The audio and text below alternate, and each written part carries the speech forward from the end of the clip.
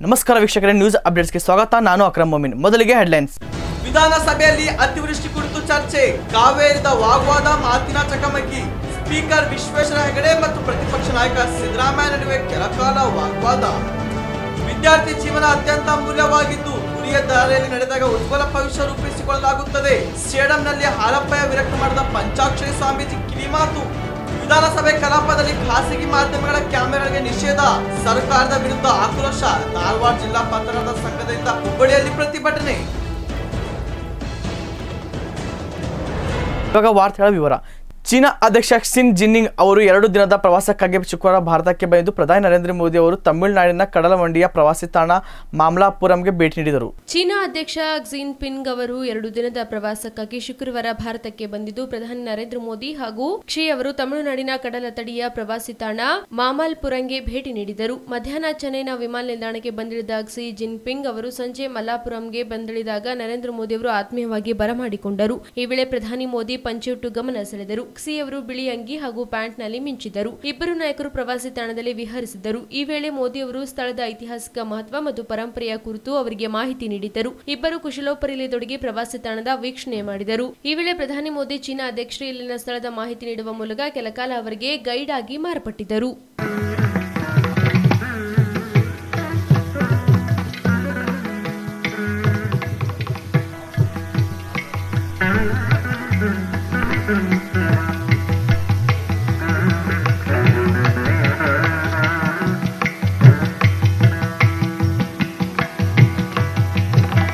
ನಲವತ್ನಾಲ್ಕನೇ ವರ್ಷದ ಐತಿಹಾಸಿಕ ದಸರಾ ಮಹೋತ್ಸವ ಅಂಗವಾಗಿ ಮಾನವೀಯ ಮುಕ್ತಗುಚ್ಛ ಬ್ರಾಹ್ಮಣ್ ಕಲ್ಮಠದಿಂದ ಕಳೆದ ನಲವತ್ನಾಲ್ಕು ವರ್ಷಗಳಿಂದ ದಸರಾದಲ್ಲಿ ಒಂಬತ್ತು ದಿನಗಳ ಕಾಲ ದೇವಿ ಪುರಾಣ ಕಲ್ಮಠ ಮಠದ ಹಮ್ಮಿಕೊಂಡು ಬರಲಾಗುತ್ತಿದೆ. ಹನ್ನೊಂದನೇ ದಿನದಂದು ಕನ್ಯೆಯರು ಹಾಗೂ ಸುಮಂಗಲರಿಂದ ಕಳಸ ಹಾಗೂ ಕುಂಭದೊಂದಿಗೆ ಅತ್ಯಂತ ಅದ್ದೂರಿ ಮೆರವಣಿಗೆ ನಡೆಸಲಾಗುವುದು ಎಂದು ವಿರೂಪಾಕ್ಷ ಪಂಡಿತಾರಾಧ್ಯ ಸ್ವಾಮಿಗಳು ಕಲ್ಮಠ ಮಾಧ್ಯಮಕ್ಕೆ ಪ್ರತಿಕ್ರಿಯಿಸಿದರು. ಕಲ್ಮಠದ ಶಾಲೆಗಳ ವಿದ್ಯಾರ್ಥಿಗಳಿಂದ ತ್ರಿವಿಧ ದಾಸೋಹಿ ಮತ್ತು ಶ್ರೀ ಶಿವಕುಮಾರ ಸ್ವಾಮಿಗಳಿಂದ ಸ್ತಬ್ಧ ಚಿತ್ರ ವಿಶೇಷ ರೀತಿಯಲ್ಲಿ ಗಂಗೊಳಿಸುತ್ತಿತ್ತು. ಹಾಗೂ ಜಾನಪದ ಕಲಾ ತಂಡಗಳು ಪ್ರದರ್ಶನ ಮೆರುಗು ನೀಡಿದ್ದವು. ಈ ಸಂದರ್ಭದಲ್ಲಿ ಡಾಕ್ಟರ್ ಶಿವಮೂರ್ತಿ ಶಿವಾಚಾರ್ಯ ಮಹಾಸ್ವಾಮಿಗಳು, ಕಲ್ಮಠ ಹಾಗೂ ಹಿರಿಯ ಪುರಸಭೆ ಸದಸ್ಯರು ರಾಜಾ ಮಹೇಂದ್ರ ನಾಯಕ್, ಜೆಡಿಎಸ್, ಯುವ ಮುಖಂಡರು ರಾಜಾ ರಾಮಚಂದ್ರ ನಾಯಕ್, ಗುಮ್ಮ ಬಸವರಾಜ್, ಚನ್ನಬಸಯ್ಯ ಸ್ವಾಮಿ, ಮಲ್ಲಪ್ಪ ಹೂಗಾರ್ ಸೇರಿದಂತೆ ಅನೇಕರು ಇದ್ದರು.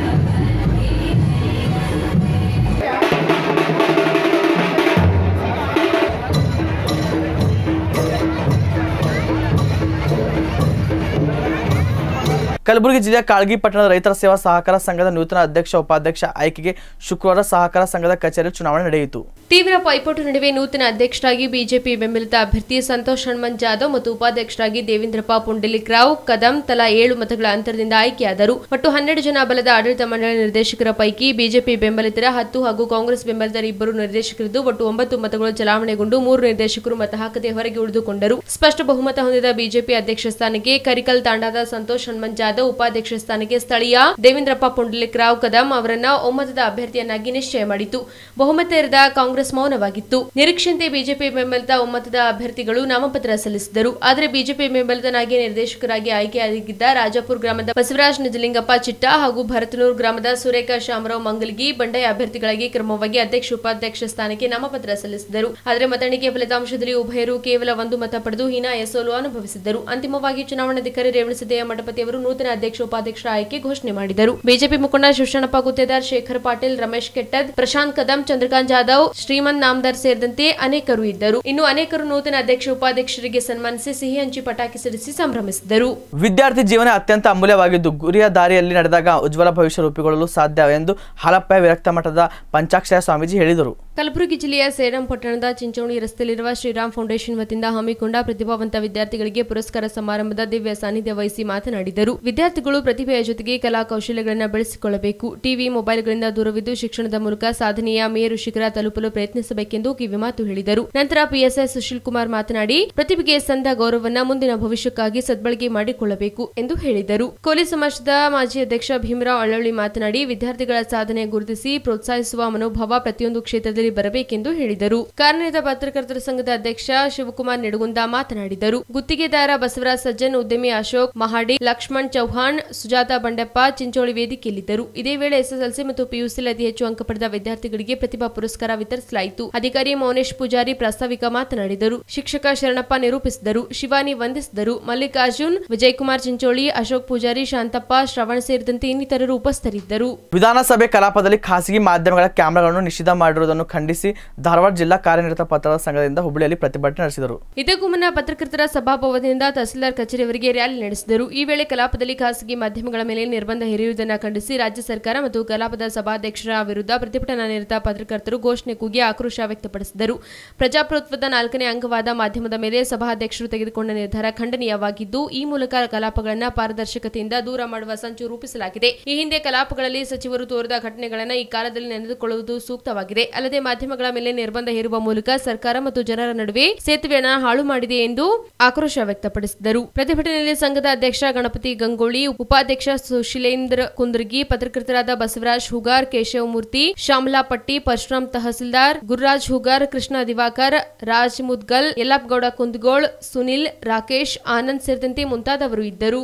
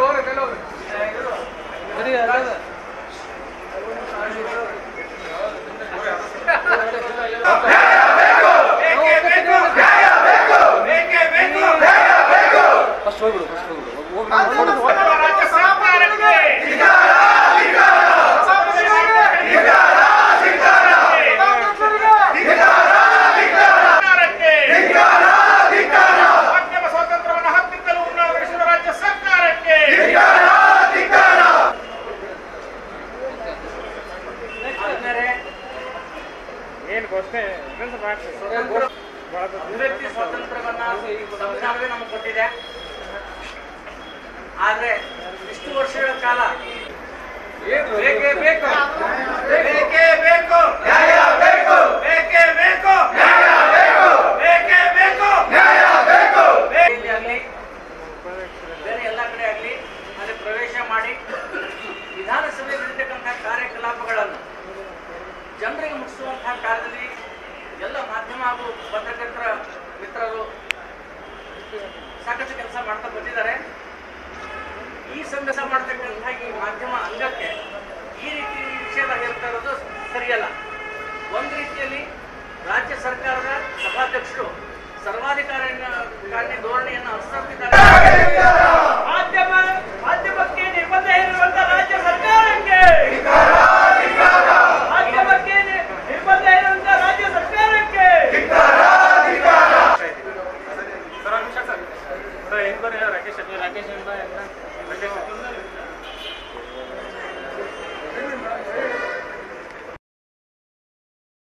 ವಿಧಾನಸಭೆಯಲ್ಲಿ ಅತಿವೃಷ್ಟಿ ಕುರಿತು ಚರ್ಚೆ ಸಂದರ್ಭದಲ್ಲಿ ಸ್ಪೀಕರ್ ವಿಶ್ವೇಶ್ವರಯ್ಯ ಹೆಗಡೆ, ಕಾಗೇರಿ ಮತ್ತು ಪ್ರತಿಪಕ್ಷದ ನಾಯಕ ಸಿದ್ದರಾಮಯ್ಯ ನಡುವೆ ಕೆಲ ಕಾಲ ಕಾವೇರಿದ ವಾಗ್ದವ. ಮಾತಿನ ಚಕಮಕಿ ನಡೆಯಿತು. ಒಂದು ಹಂತದಲ್ಲಿ ಇಬ್ಬರು ಬಹಳ ಉದ್ವೇಗದಲ್ಲಿ ಮಾತನಾಡಿದರು. ಸಿದ್ದರಾಮಯ್ಯನವರೇ ನಿಮಗೆ ಮಾತನಾಡಲು ನಾಲ್ಕು ಗಂಟೆಗಳಿಗೂ ಹೆಚ್ಚು ಕಾಲಾವಕಾಶ ಮಾಡಿಕೊಡಲಾಗಿದೆ.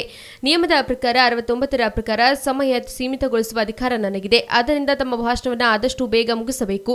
ಎಚ್ ಡಿ ಕುಮಾರಸ್ವಾಮಿ ಅವರಿಗೆ ಅವಕಾಶ ಮಾಡಿಕೊಡಬೇಕೆಂದು ಹೇಳುತ್ತಿದ್ದಂತೆ ಕೆರಳಿದ ಕೆಂಡವಾದ ಸಿದ್ದರಾಮಯ್ಯ, ನಾನು ಮಾತು ಮುಗಿಸುವುದಿಲ್ಲ, ನೀವು ಹೇಳಿದಂತೆ ಕೇಳುವುದಿಲ್ಲ. ಇದೇನು ಸರ್ವಾಧಿಕಾರಿ ಧೋರಣೆಯೇ? ಅಧಿವೇಶನಕ್ಕೆ ಏತಕ್ಕೆ ಕರೆಯುತ್ತೀರಿ? ಈ ಹಿಂದೆ ಆರು ಏಳು ಗಂಟೆ ಮಾತನಾಡಿದ ಇತಿಹಾಸ ಸದನದಲ್ಲಿದೆ. ಇದು ನಿಮಗೂ ಗೊತ್ತಿದೆ. ನಾನು ನೀವು ಹೇಳಿದಂತೆ ಕೇಳುವುದಿಲ್ಲ ಎಂದು ಪಟ್ಟು ಹಿಡಿದಾಗ ಕೆಲಕಾಲ ಕಾಗೇರಿ ಮತ್ತು ಸಿದ್ದರಾಮಯ್ಯ ನಡುವೆ ಬಿರುಸಿನ ವಾಗ್ವಾದ ನಡೆಯಿತು. ಆ ಸಮಯದಲ್ಲಿ ಆಡಳಿತ ವಿರೋಧಿ ಸದಸ್ಯರು ಸಹ ಎದ್ದು ನಿಂತು ಮಾತನಾಡಿದ್ದರಿಂದ ಸದನ ಕೆಲಕಾಲ ಗದ್ದಲಗೊಂಡಿತು ರಾಜ್ಯದ ಅತಿವೃಷ್ಟಿ ಪರಿಸ್ಥಿತಿ ಹಾಗೂ ವಿತ್ತೀಯ ಕಾರ್ಯಕಲಾಪಗಳ ಸುದೀರ್ಘ ಚರ್ಚೆಗಾಗಿ ವಿಧಾನಮಂಡಲದ ಕಲಾಪವನ್ನ ಕನಿಷ್ಠ ಆರು ದಿನಗಳವರೆಗೆ ವಿಸ್ತರಿಸಬೇಕೆಂದು ಸಿದ್ದರಾಮಯ್ಯ ಒತ್ತಾಯಿಸಿದ್ದರು. ಅತಿವೃಷ್ಟಿ ಕುರಿತು ಮುಂದುವರೆದ ಚರ್ಚೆಯಲ್ಲಿ ಮಾತನಾಡಿದ ಅವರು, ರಾಜ್ಯದಲ್ಲಿ ಹಿಂದೆಂದೂ ಕಾಣದಷ್ಟು ಭೀಕರ ಪ್ರವಾಹ ಉಂಟಾಗಿದೆ.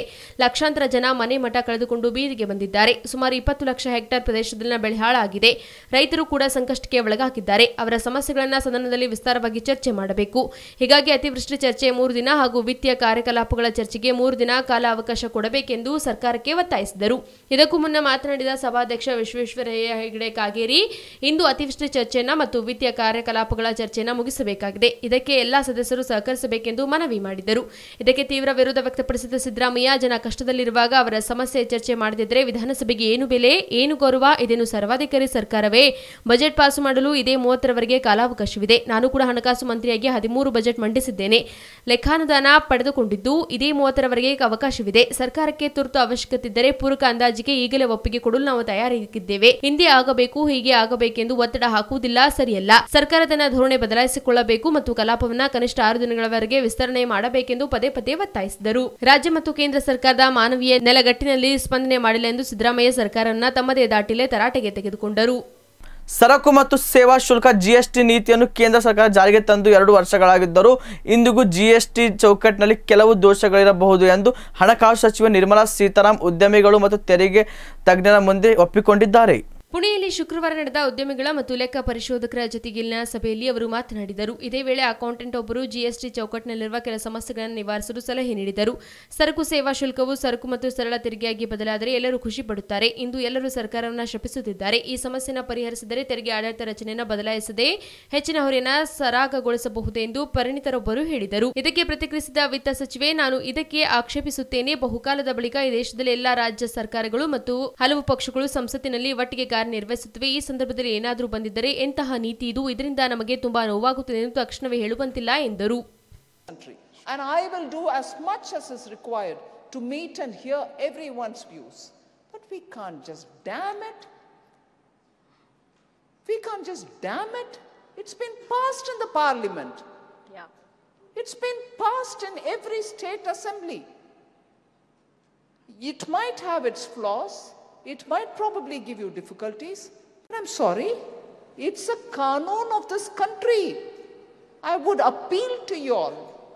ಭಾರತ ಉಪರಾಷ್ಟ್ರಪತಿ ಎಂ ವೆಂಕಯ್ಯ ನಾಯ್ಡು ಅವರಿಗೆ ಕೋಮಯ ರೋಸ್ ಸರ್ಕಾರ the Order of the Green Crescent ಗೌರವ ನೀಡಿ ಸತ್ಕರಿಸಿದೆ ಭಾರತದ ಉಪರಾಷ್ಟ್ರಪತಿ ಎಂ ವೆಂಕಯ್ಯ ನಾಯ್ಡು ಅವರಿಗೆ ಕೊಮೊರೋಸ್ ಸರ್ಕಾರ the Order of the Green Crescent ಗೌರವ ನೀಡಿ ಸತ್ಕರಿಸಿದೆ. ಪೂರ್ವ ಆಫ್ರಿಕಾದ ಕೊಮೊರೋಸ್ ಪ್ರವಾಸದಲ್ಲಿರುವ ಉಪರಾಷ್ಟ್ರಪತಿ ವೆಂಕಯ್ಯ ನಾಯ್ಡು ಅವರಿಗೆ ಕೊಮೊರೋಸ್ ಒಕ್ಕೂಟದ ಅಧ್ಯಕ್ಷ ಅಜ್ಲಿ ಅಸೋಮೋನಿ ಅವರು the Order of the Green Crescent ಗೌರವ ನೀಡಿ ಸತ್ಕರಿಸಿದ್ದಾರೆ.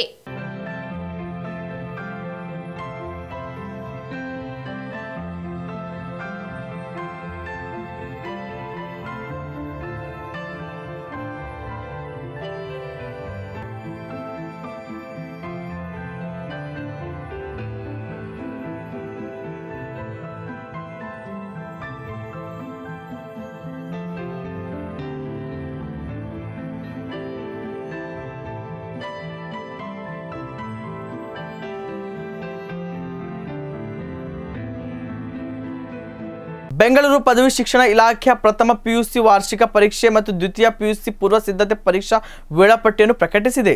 ಪ್ರಥಮ ಪಿಯುಸಿ ವಾರ್ಷಿಕ ಪರೀಕ್ಷೆ ಫೆಬ್ರವರಿ ಹತ್ತರಿಂದ ಇಪ್ಪತ್ತರ ತನಕ ನಡೆಯಲಿದ್ದು ಜನವರಿ ಎರಡರಿಂದ ಜನವರಿ ಹತ್ತರವರೆಗೆ ವಿಜ್ಞಾನ ವಿಭಾಗದ ಪ್ರಾಯೋಗಿಕ ಪರೀಕ್ಷೆಗಳನ್ನು ಮುಗಿಸುವಂತೆ ಇಲಾಖೆ ಸೂಚನೆ ನೀಡಿದೆ. ಹೆಚ್ಚಿನ ವಿವರಗಳಿಗೆ ಇಲಾಖೆ ವೆಬ್ಸೈಟ್ ವೀಕ್ಷಿಸಲು ಪ್ರಕಟಣೆ ತಿಳಿಸಿದೆ. ಬಿಎಂಟಿಸಿ ನಿಲ್ದಾಣದಲ್ಲಿ ಹಲವು ಸೌಲಭ್ಯ ಒಳಗೊಂಡ ಮಹಿಳಾ ವಿಶ್ರಾಂತಿ ಗೃಹ ನಿರ್ಮಿಸಲು ಯೋಜಿಸಲಾಗಿದೆ. ಖರ್ಚಾಗದೆ ಉಳಿದಿರುವ ನಿರ್ಭಯ ನಿಧಿಯನ್ನು ಬಳಕೆ ಮಾಡಿಕೊಳ್ಳಲು ಬಿಎಂಟಿಸಿನ ಮಹಿಳೆಯರ ವಿಶ್ರಾಂತಿ ಗೃಹ ಆರಂಭಿಸಲಾಗುವುದು. ಕೇಂದ್ರ ಸರ್ಕಾರ ಮಹಿಳೆಯರ ಸುರಕ್ಷತೆಗಾಗಿ ನಿರ್ಭಯ ನಿಧಿ ಸ್ಥಾಪಿಸಿದ್ದು ರಾಜ್ಯ ಸರ್ಕಾರದ ಅಡಿಯಲ್ಲಿ ಕೆಲಸ ಮಾಡುವ ಸಂಸ್ಥೆಗಳಿಗೆ ಅನುದಾನ ನೀಡುತ್ತದೆ. ಅಂತೆ ಬಿಎಂಟಿಸಿ ಮೂವತ್ಮೂರು ಪಾಯಿಂಟ್ ಅರವತ್ನಾಲ್ಕು ಕೋಟಿ ರೂಪಾಯಿ ಅನುದಾನ ಬಂದಿದೆ. ಅದರಲ್ಲಿ ಎರಡು ಪಾಯಿಂಟ್ ಮೂವತ್ತೇಳು ಕೋಟಿ ರೂಪಾಯಿ ಖರ್ಚಾಗಿದೆ. ಉಳಿದ ಮೂವತ್ತೊಂದು ಪಾಯಿಂಟ್ ಇಪ್ಪತ್ತೇಳು ಕೋಟಿ ರೂಪಾಯಿ ಅನುದಾನವನ್ನು ಬಳಸಿಕೊಂಡು ಮಹಿಳಾ ವಿಶ್ರಾಂತಿ ಗೃಹ ನಿರ್ಮಿಸಲಾಗುವುದು. ಬಿಎಂಟಿಸಿ ಹದಿನಾಲ್ಕು ಪ್ರಮುಖ ಬಸ್ ನಿಲ್ದಾಣದಲ್ಲಿ ಮಹಿಳೆಯರಿಗೆ ಪ್ರತ್ಯೇಕ ವಿಶ್ರಾಂತಿ ಗೃಹ ನಿರ್ಮಾಣ ಮಾಡಲಿದ್ದು ಕುಡಿಯುವ ನೀರು ಫೀಡಿಂಗ್ ಕೊಠಡಿ ಮೊಬೈಲ್ ಚಾರ್ಜಿಂಗ್ ವ್ಯವಸ್ಥೆ, ಶೌಚಗೃಹ ವೈಫೈ ಸೌಲಭ್ಯ ಮಾಹಿತಿ ಪ್ರದರ್ಶನ ಮೊದಲಾದ ವ್ಯವಸ್ಥೆ ಕಲ್ಪಿಸಲಾಗುತ್ತದೆ ಎಂದು ಹೇಳಿದರು. ಹಾಸನ ಜಿಲ್ಲಾಧಿಕಾರಿಗಳು ಇಂದು ಬಿಎಸ್ ಯಡಿಯೂರಪ್ಪರ ನಿವಾಸದಲ್ಲಿ ಮುಖ್ಯಮಂತ್ರಿಗಳನ್ನು ಹಾಸನಾಂಬ ಉತ್ಸವಕ್ಕೆ ಆಹ್ವಾನಿಸಿದರು.